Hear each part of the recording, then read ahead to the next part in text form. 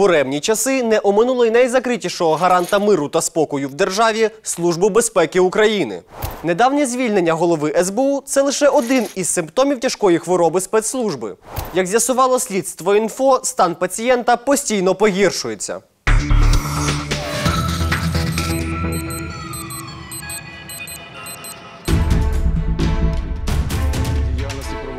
18 червня Верховна Рада за поданням президента відправила у відставку очільника Служби безпеки України Валентина Наливайченка. Звільнення супроводжувалося гучними скандалами і підкилимними політичними іграми, які до болю нагадували візантійщину часів Януковича.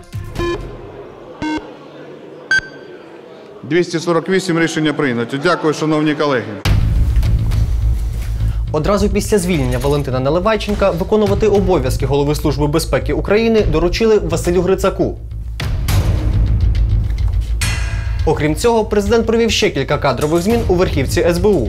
Так, першим заступником голови та головою антитерористичного центру став Віталій Маліков.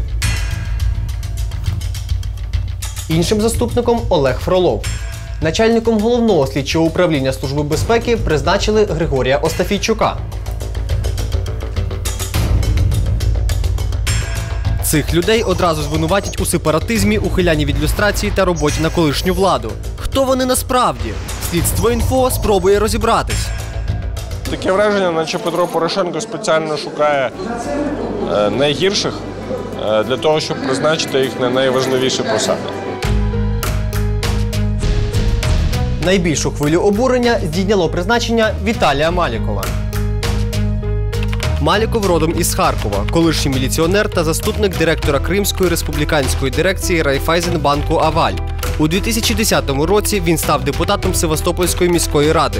Після анексії Криму переїхав на материкову Україну, де спершу працював в органах МВС, а згодом перейшов на службу в СБУ.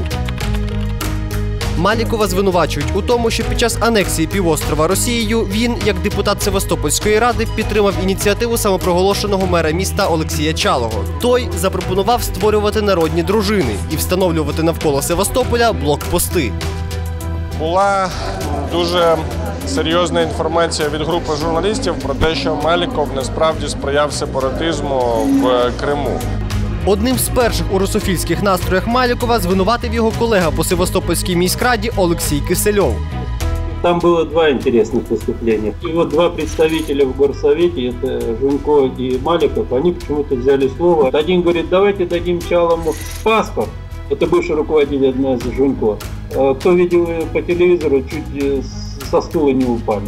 А второй выходит, говорит, да, давайте поддержим э, блокпосты на въезде в Севастополь. В інтернеті збереглось відео зі згаданого Кисельовим засідання. У нас сегодня есть уникальный шанс реализовать те все долголетние желания и мечтания наших севастопольцев о том, чтобы Севастополь имел собственного городского голову, но он должен быть легитимен, он должен быть законен, Як бачимо, депутат Жунько дійсно пропонує шукати законні шляхи призначення Чалого на посаду мера Севастополя. Однак кадрів, які б доводили, що Маліков виступав на підтримку Чалого, ми не знайшли. Та слідству інфо вдалося взяти в нього ексклюзивне інтерв'ю. Ми одразу ж запитали його, чи справді він підтримував сепаратистів. Алексея Чалова я никогда не поддерживал. У меня возникает тут один вопрос. Вот думающий мозг есть у кого-то? Вот, хотя бы сравнить факты, логику построить этого, само события. Но если я голосовал, там, ну, к примеру, кто-то голосовал, через 4 дня я иду начальником УВД, и эти же меня начинают, как они говорят, которые самооборону я там строил и, значит, э, возглавлял, они меня начинают штурмовать. Вот где это? И я после этого, вы считаете, что Аваков не владеет информацией там, каком-нибудь преназначении меня? Дійсно, уже за кілька днів після засідання міськради Арсен Аваков призначає Малікова очільником управління внутрішніх справ Севастополя. Але той так і не потрапляє на робоче місце. Його блокують проросійські активісти. После этого я переехал в ГАИ. Там было просто, э, была возможность управлять, и, ну, пульт управления, можно было связаться с районными отделами. И буквально я туда подъехал, минут через 10-15 поступила информация, что они выехали меня там э, блокировать. Я попросил ребят остаться, а сам вышел на площадь туда. к ним. Ну, а вот там уже где-то толпа, человек 300-400 было. Ми знайшли відео з місця подій того дня. Как вы будете взаимодействовать с новым э, назначенным? Нормально, я пытаюсь целый день связаться сегодня с Алексеем Михайловичем, со всеми, через руководитель. А с э, человеком, которого назначил руководить муниципальной милицией? Так я то же самое с ним хотел выйти на контакт, он не хочет со мной разговаривать. Я хотел с ним договориться, сесть пере... не за стол. будет разговаривать. Ну, потому хорошо, что видите? Вы оттуда от фашистов приехали Я, сюда. я, от фаши- я вообще ниоткуда не приехал, я отсюда местный. Окрім сепаратизму, Віталію Малікову приписують володіння бізнесом на території Криму. Він каже, що це не так. У вас зараз немає жодного бізнесу. Да какой у меня бизнес? У меня, ну о чем вы говорите? Время надо, чтобы заниматься. У меня что, хобби потом, вот, понимаете, имея такой крупный бизнес, чтобы я там еще в банке работал. Понимаете, ну оно не вяжется вообще абсолютно. Голова антитерористичного центру СБУ лукавить. Знайти його бізнес-інтереси на окупованому півострові виявилось не надто складно. Віталій Володимирович Маліков серед засновників ТОВ Капітал Форс, зареєстрованого у Севастополі. Компанія займається будівництвом. Його партнер Юрій Іванович Дегтярьов також співвласник іншої фірми ТОВ науково-виробнича фірма Портал разом з Юлією Миколаївною Маліковою, дружиною Віталія Володимировича. Ще одним призначенцем Порошенка став Григорій Остафійчук. Він обійняв посаду начальника головного слідчого управління СБУ. Однак і тут не обійшлось без скандалів.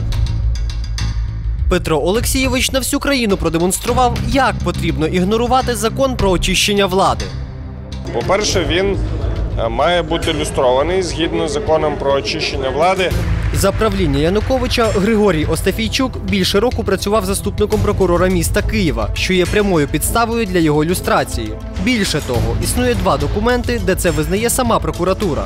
Наприклад, відповідь прокуратури міста Києва на запит від громадської ради з питань люстрації при Мін'юсті.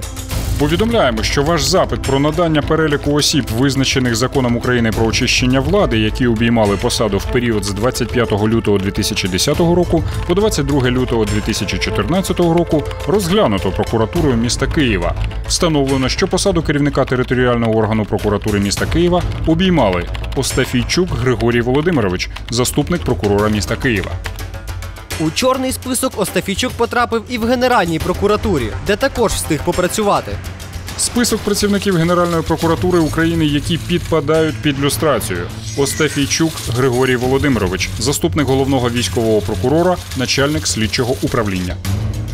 Його його родини декларація має непояснену кількість е, майна, яку порядний чесний прокурор не міг просто отримати. Тому призначення президента вважав і вважаю глибокою помилкою, і ми будемо наполягати, щоб Петро Порошенко її виправив.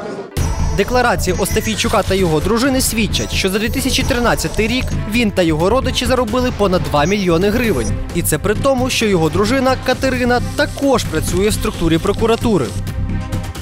Важко зрозуміти аргументи президента, який призначає керувати СБУ людей з неоднозначним минулим. До того ж, порушення закону про очищення влади. Можливо, їм дають посади, щоб виконувати якісь особливі завдання голови держави.